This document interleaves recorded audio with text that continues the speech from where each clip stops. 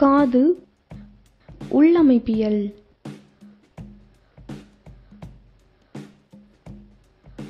ஒளி அலைகள் காதிலுள்ள கால்வாய் வழியாக பயணம் செய்து செவிச்சவ்வை அடைகிறது.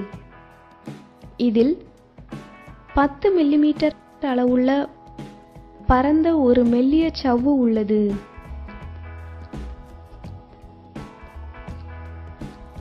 காதில் ஒன்பது முக்கிய பகுதிகள் இருக்கின்றன. புறச்செவி காது கால்வாய் செவிச்சவ்வு சுத்தியல்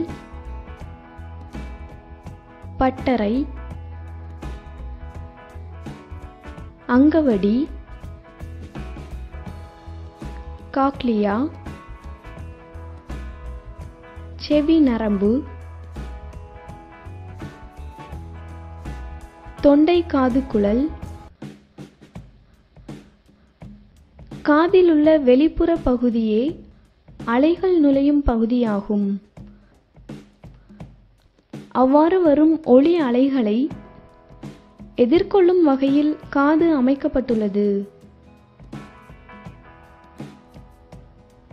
காது கால்வாய் போன்ற அமைப்பானது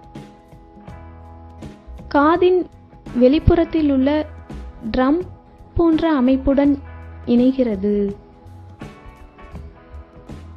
ஒளி அலைகள் மூலம் வரும் அதிர்வானது செவிச்சவ்வு வழியாக சென்று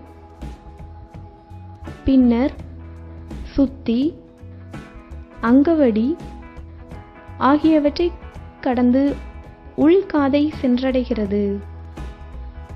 உள்காதின் அமைப்பானது காக்லியா மற்றும் ஒரு வகையான திரவத்தை உள்ளடக்கியது.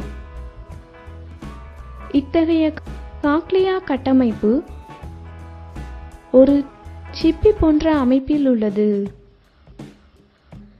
செவி நரம்புகளின் வழியாக ஒளியானது மூளையை நோக்கி செல்கிறது. உள்காதில் உள்ள திரவமானது அனைத்தையும் சமநிலைப்படுத்துகிறது.